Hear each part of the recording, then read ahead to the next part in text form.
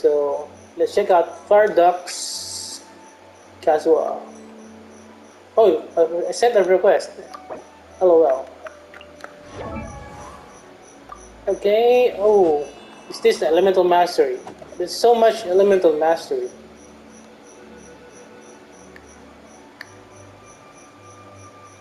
So this is a support Kazuha.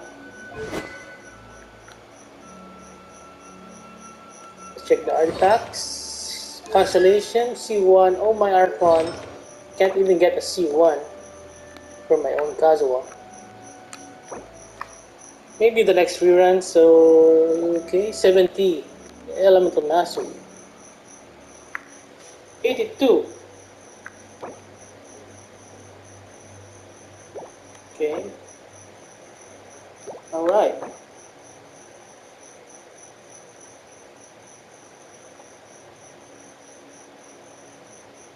So this is a pretty broken Kazuha. So that's how you should build Kazuha. This is the perfect Kazuha, in my opinion.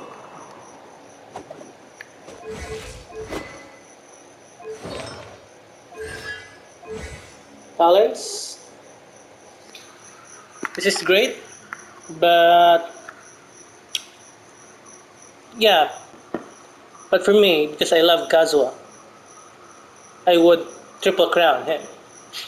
Uh, maybe, uh, yeah, so sort of a guide as well how to build Kazuha.